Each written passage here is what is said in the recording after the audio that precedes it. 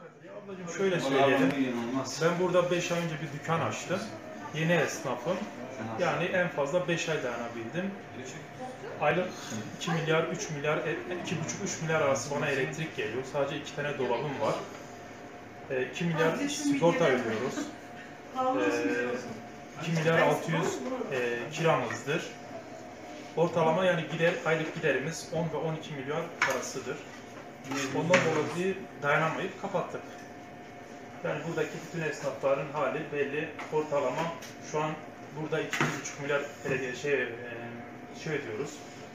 E, Elektrik faturası diyoruz. elektrik faturası artı bir de kira. Şu an mesela buralarda bile kira 4 ve 4,5 milyar arası oldu. 5 isteyen bile var.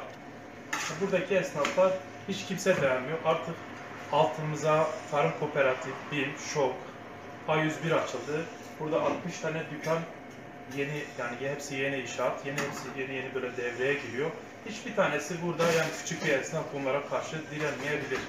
Çünkü kimse bizde alışveriş etmiyor. Gelen giden Şey yani 1 liralık bizden alıyorsa 10 lira aşağıdan alıyor. Bizim burada artık durma şeyimiz hani imkansız gibi bir şey abla. Burada en az 60 dükkandan bir kişi burada durabilir, duramaz. Bu kadar bir şey abla. Şarküteri sahibiyim. Küçük bir işletmemiz var. Elektrik faturaları nedeniyle çok büyük sıkıntılar yaşıyoruz. Ee, çok yüklü elektrik faturaları geliyor. Ee, sattığımız ürünlerde, dolap ürünlerinde kesinlikle bir şey kazanamıyoruz. Bu yüzden arkadaşlarımız, şarküterici arkadaşlarımız yavaş yavaş işletmelerini kapatmak zorunda kaldı bu elektrik, yüksek elektrik maliyetinden dolayı. O yüzden biz de şu an çok sıkıntı çekiyoruz. Yani kazandığımızı elektrik faturalarını ödüyoruz. Zor e, geçim yapabiliyorduk. Yağ, şeker zaten her şey pahalıydı. Ama bu gelen elektrik faturasıyla birlikte gerçekten elemanı çıkarmak zorunda kaldık. Eşim böyle kamerayı gösterebilirsin. Eşim çocuk bebekle beraber gelmiş, sana yardım ediyor. Geçimler zor olmuş, elektrik zam gelmiş, biz yapamıyoruz. Kapatmak zorunda kalacağız böyle giderse. 700 iken 1500 şu an gelmiş. Daha önce yine normalde iyi kötü geçiniyorduk.